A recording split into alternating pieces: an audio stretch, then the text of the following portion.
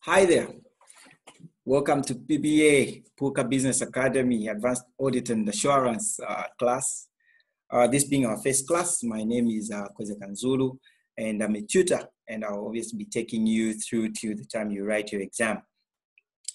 We just have about a month to go, I think a month and uh, a few days. In, in, as much as there's a COVID, we're still optimistic that the exams will still, uh, will still go on. Being our first video, I'll just basically give direction and uh, a few exam hints uh, to the advanced audit class, both 3.2 under CA and the advanced uh, audit and assurance under ACCA.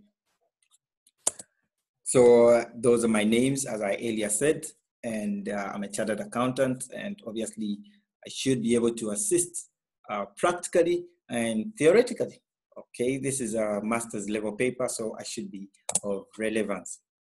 So the purpose of this video is to basically give uh, a course overview, some exam hints, give class approach and uh, set timelines for completion, completion of this course. I, I should be able to uh, distinguish and assist uh, students and whoever is watching uh, on a few glitches uh, which I have noticed students have, especially uh, at this professional level. So what's our class approach? We have a combined class for uh, ACCA and CA. I'll lecture in uh, the four major areas of the syllabus, which I'll highlight later on. And students can submit handwritten answers. I, I know some were asking as to how they'll be submitting these. Uh, considering the uh, these papers are handwritten, please do not uh, uh, do not relent. This will be done uh, just via CamScan, and then but I'll, I'll, anyway show you how to do it in our next video. this will obviously aid in easy marking and dialogue because I should be able to put up a few comments on uh, on your paper if you submit it the way I would love you to submit it the way I obviously uh, show you okay So this is a syllabus for CA Zambia. It has uh, four sections, which is uh, legal, regulatory and ethical issues, acceptance and management plan, and execution of an audit and conclusion. So I'll skim through this. I'll, I'll, quickly move to the next one because it's something I want to show you. Uh, this is the one under uh, ACCA, advanced audit. It looks a bit bulky, but uh, let's move to the next slide so you see what I mean.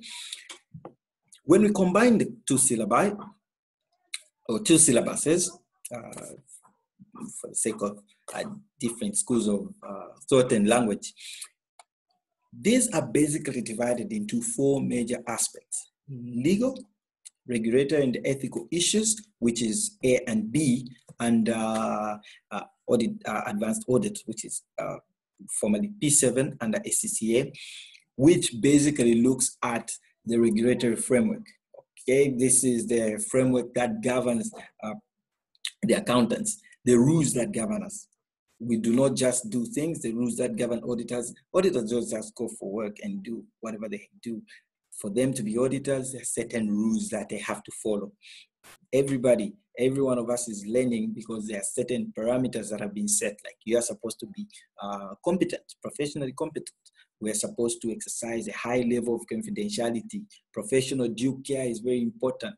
Uh, there are things that we talk about when we're saying do not bring the uh, profession into disrepute. I, I, think I've heard a number of people busy arguing about whether CIMA is more important, ACCA or CA Zambia. And I keep wondering if they've seen this line as to whether we're supposed to discredit anyone in the accountancy profession, which is very, very unprofessional. And the person at this level, I expect maybe people who are just starting it have no idea about this to engage in such uh, immature debates. But a person who's uh, done accounting and is using the same laws that are used in the other parts of the world, I think that is very, very unfair and very, very uh, well, not, not, not correct and very, very unethical. Okay, and obviously the regulators should look into this. Then I would look uh, at those things. And just the way I'm coming out, that is how we apply these ethics. Okay, we are supposed to live them and not just uh, study them. And that's the level at which this paper is at. The The second one is obviously looking at acceptance and management of audit and assurance assignments. The ACCA one makes it a, a bit more clear. It says quality control and practice management.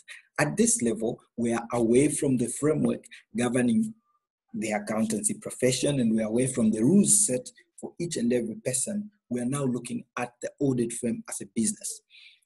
How is the audit firm supposed to conduct itself in this kind of business? We'll be looking at issues to do with quality, very difficult to define, though uh, there's some standards that have obviously talked about it. Um, quality at the practice, or the, rather the firm, and quality in the field. That is why under CA it says management of an audit and assurance assignment. So how are we going to take a uh, look at quality? How are we going to ensure that the audit firm delivers a quality job that would not jeopardize its standing? Okay, remember auditing is about confidence. Remember auditing is about the things that we do. So as we are doing those things, people should have confidence that the opinion that we are giving, which is not tangible, remember is of uh, a good quality. Okay, the work can stand for us as we, if we are to be sued uh, or face any form of litigation.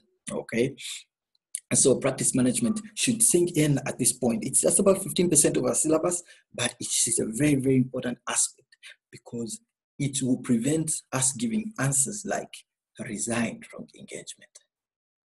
Remember, an audit firm is a business giving immature answers or yeah which is ideally giving immature answers like resigning from an engagement from the onset is not really really fair it just shows that we cannot deliberate and argue out a question in the exam or an issue when we are faced with it so we cannot quickly rush to talking about resigning from an engagement when we're in business what mechanisms what things are we going to put up to defend our business if we are faced with ethical issues.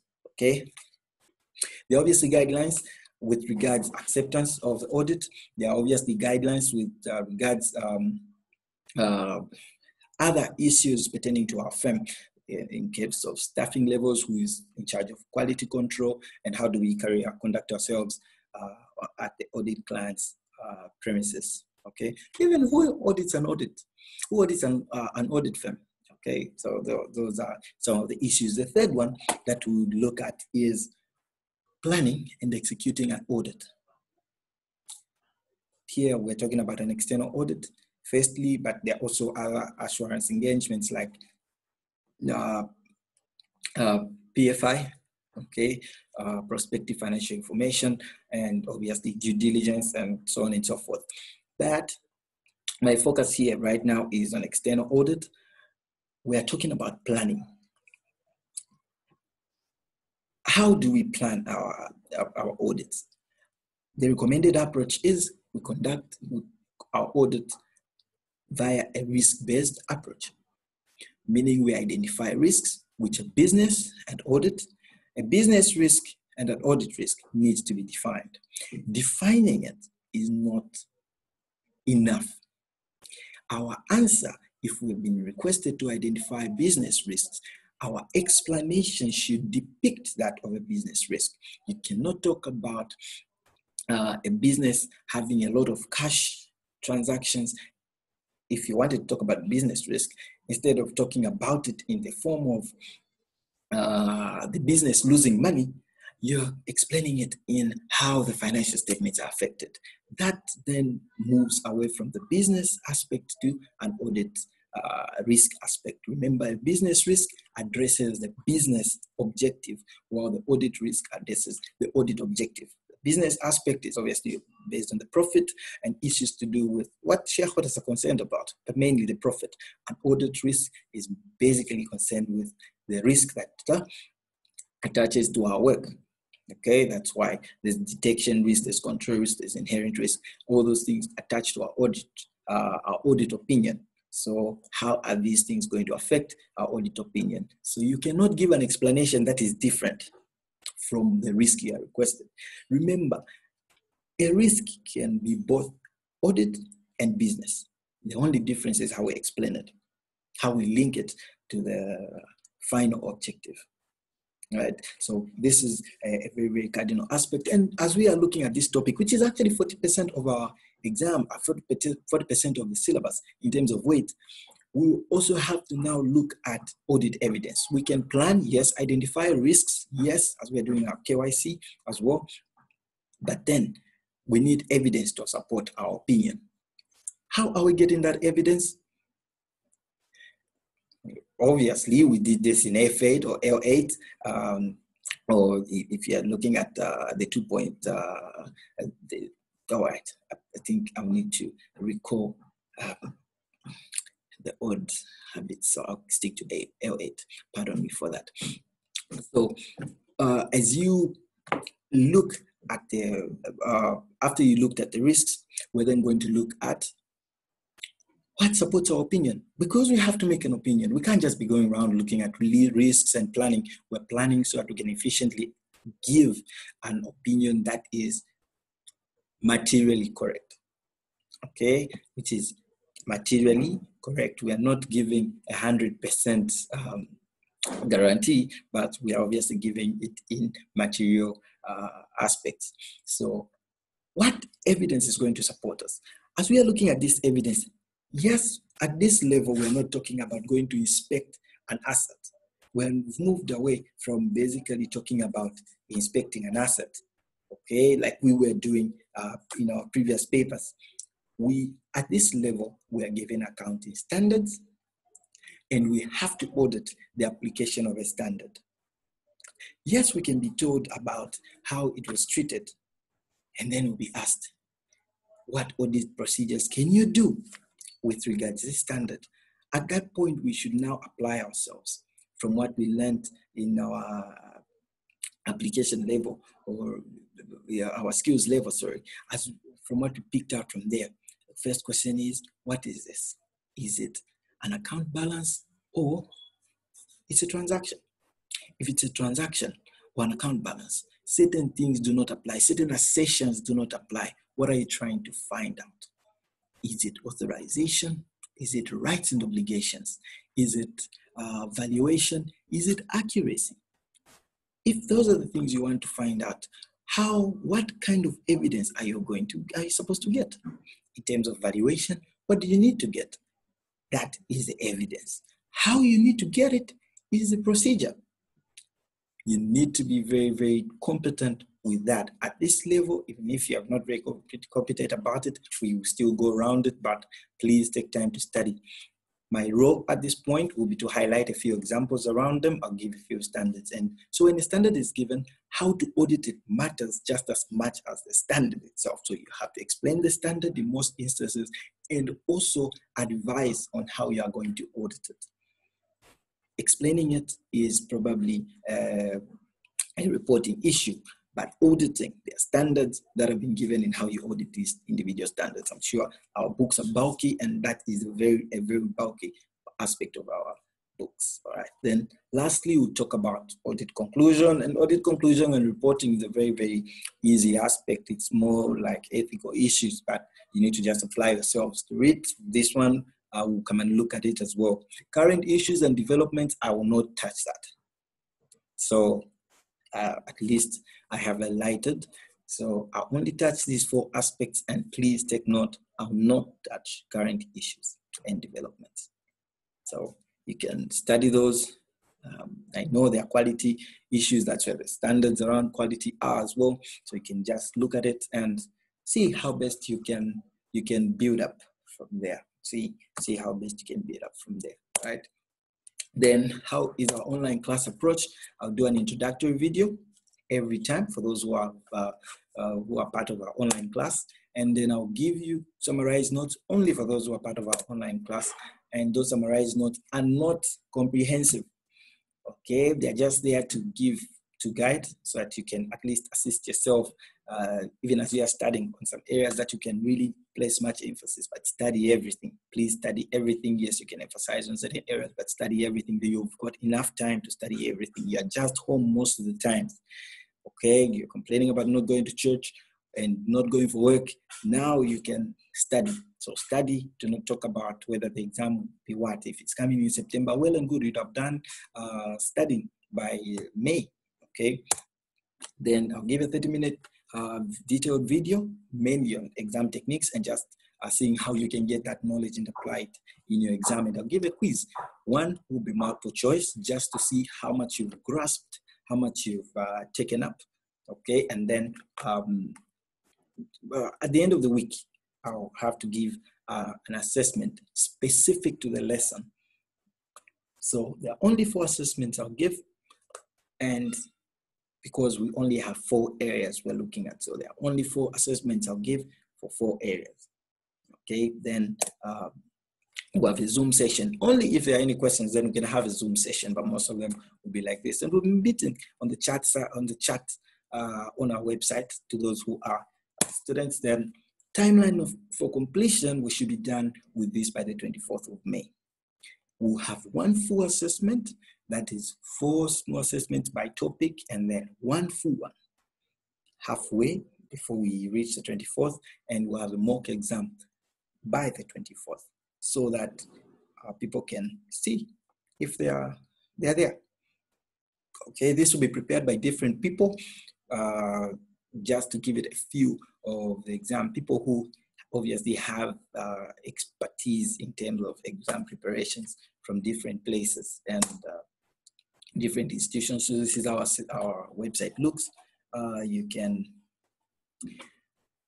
uh, you'll find the mind maps there. These are very, very helpful. You should be clicking on the assessments as long as you've not ticked on the other side.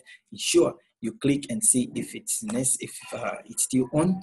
Announcements, uh, you can check if there's anything I want to post there. And then on each and every topic, I should be posting some things. I have some summarized notes there, but I'll give you uh, more uh, notes. These uh, uh, just there for you to start with. Okay, so thank you. thank you to everyone and all the best in your preparations. You can catch us there. Send your send an email address to pbaonline at gmail.com if you want to be added uh, to acquire free uh, lessons during this COVID period. After that, we are no longer offering free services. Please take note, this is just during this COVID period. Okay, so from now to the time that COVID uh, will end, this will be free. After that, access to our site will be limited. The videos will always be on YouTube, but uh, access to the quiz, the assessments, the mock exam will be limited to those who would have subscribed and who are part of our institution. Thank you very much. And remember, wash your hands, stay home if you don't have anything to do in town. Stay home. You can't risk your health. Stay home, wash your hands, I prefer washing hands to hand sanitizer. So if you can find water, wash your hands with soap and ensure you're moving with a, with a face mask uh, all the time as long as you're in town. Okay, and uh, avoid gatherings. Okay, avoid large gatherings. We can use Zoom, we can use phone calls, and uh, we can use other means. It's just for a while. Let's just work around it. We've done so well up to now. We can still beat it. All right. And then lastly, which should be the first thing? Pray. For a Christian nation, pray. God still answers and God will always answer. And He's given us life today. Thank you very much. Have a great evening and yeah, enjoy yourself.